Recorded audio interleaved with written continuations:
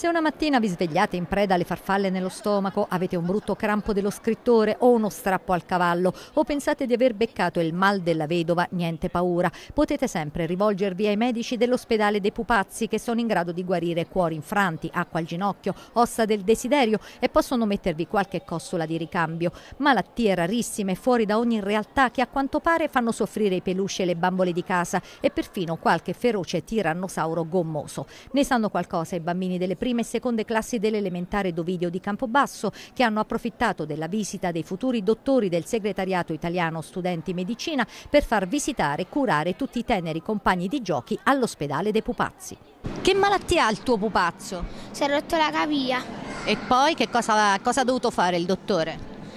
l'ha dovuto fasciare il piede e non si deve muovere per due settimane. Senti, ma tu hai paura del, di andare in ospedale? Sì. E perché?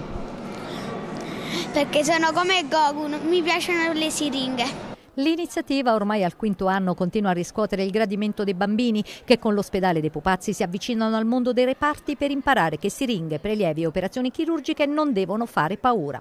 Abbiamo il nostro dottor Trippozza eh, che è il clown e abbiamo i nostri farmaci eh, per i pupazzi, lo sgonfiolin, il salvapancia, la bassa febbre, così per cercare di eh, far capire ai bambini che quando c'è anche la necessità di vivere questa situazione si può affrontare senza averne paura. E quindi i bimbi hanno visto i dottori all'opera, analisi del sangue, elettrocardiogrammi, radiografie poi magari una bella dieta per i peluche in sovrappeso, meno dolci e più spremute d'arancia. I bambini hanno reagito molto bene all'iniziativa, soprattutto oggi, e sono rimasti molto entusiasti anche perché li abbiamo riempiti di palloncini, hanno fatto il giro e hanno un ruolo interattivo nell'ospedale di Pupazzi.